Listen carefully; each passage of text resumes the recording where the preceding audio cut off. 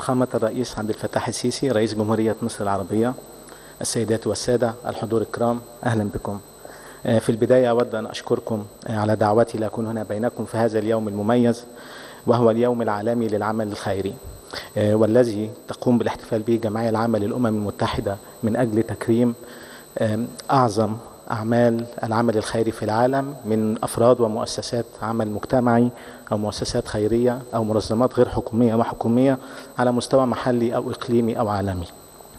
في الحقيقة أول مرة أشهد احتفال بهذا اليوم على هذا المستوى في مصر وهذا إن دل على شيء فهو يدل على اهتمام الدولة المصرية بتعميق العمل الخيري وتطويره في مصر بما ينعكس على المجتمع وينعكس على القضاء على الفقر لتحقيق التنمية المستدامة في مصر. وأجد أن هذا الاهتمام من الدولة قد انعكس تماما على العاملين في مجال العمل الخيري بما نشهده من إنجازات. والحقيقة إحنا لاحظنا ظاهرة أنا أسميها ظاهرة وهي ظاهرة صندوق تحيا مصر فقد شرفت بالعمل معهم منذ عام على أرقام قياسية أخرى أنهم ينتقلون بالعمل الخيري من مجرد الحرص على تقديم المساعدة إلى إتقان هذا العمل بل ومحاولة الإنجاز فيه على مستوى عالمي ومنافسة العالم أجمع في العمل الخيري وأجد أن ما شرفت بالعمل عليه معهم سابقا هم ثلاث أرقام قياسية تم تحقيقها في شهر شهر نوفمبر الماضي وهي أكبر قافلة أكبر قافلة تبرع بصناديق الأغذية في العالم وبلغت 300 ألف صندوق. أكبر حملة تبرع بالدجاج في العالم بلغت 2 مليون كيلو جرام وأطول قافلة مساعدات في العالم وبلغت 480 قافلة. ونجد أن العمل الخيري مع صندوق تحيا مصر لا يتوقف عند غذاء أو كساء إنما تخطى ذلك ليشمل الدعم الصحي والدعم الطبي والدعم التعليمي بل تأسيس حياة كريمة للأيتام والأسر الأكثر احتياجا. في موضوع قافلة اليوم وهي أيضا جزء من الظاهرة وهي لسنا هنا بالاحتفال حديثا عن هذا الإنجاز وإنما من خلال إطلاق قافلة أبواب الخير. وهي تشمل أكثر من 800 شاحنة ضخمة 650 مليون جنيه قيمة التبرعات لأكثر من 5 ملايين شخص يستفيد من هذه الحملة وهذا يعادل تعداد سكان دول بأكملها وبرمتها.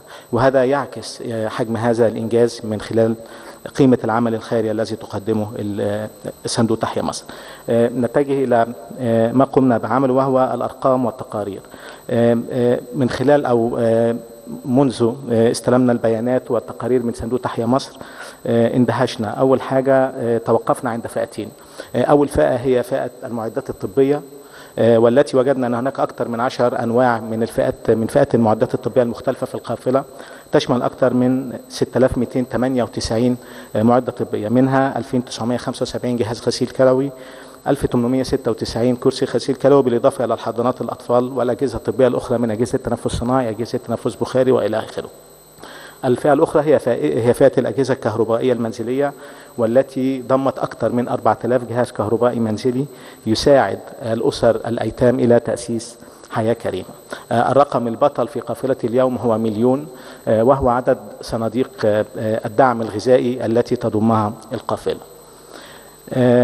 وبناء عليه بعد مراجعة الأرقام وجردها تقدمنا برقم بتسجيل بطلب رسمي لتسجيل ثلاث أرقام قياسية جديدة لصندوق تحيا مصر. وهي أكبر حملة تبرع بصناديق المواد الغذائية في العالم. الرقم الثاني أكبر حملة تبرع بالمعدات الطبية في العالم. والرقم الثالث هو أكبر حملة تبرع بالأجهزة الكهربائية المنزلية في العالم. والآن نتابع بعد إذن فخامة الرئيس نتيجة تحكيم الأرقام القياسية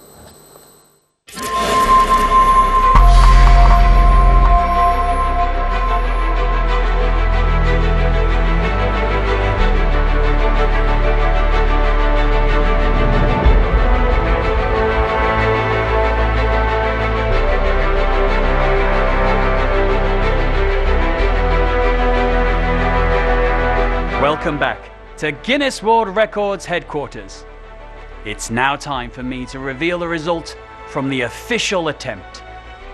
Takia Massafund, we received your evidence for the Guinness World Records title for the largest single donation of hunger relief packages, the largest donation of medical equipment, and the largest donation of electrical homeware. Our team of highly trained record specialists have reviewed your evidence and have reached a decision. I can now confirm that your attempt to break a Guinness World Records title has been successful. Congratulations, Takye Musafund, on achieving a new Guinness World Records title.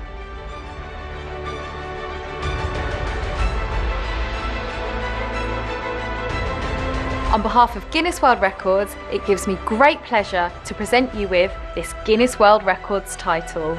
You are officially amazing. We are delighted that you could be part of this Guinness World Records event, and we hope to see you attempting and breaking Guinness World Records titles in the future.